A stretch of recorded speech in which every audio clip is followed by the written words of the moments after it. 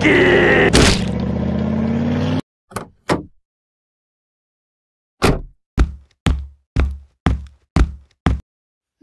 why the would you do that? You stupid. And wait, is that police?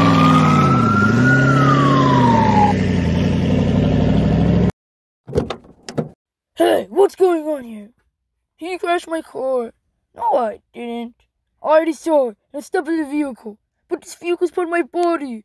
Let me see, liar.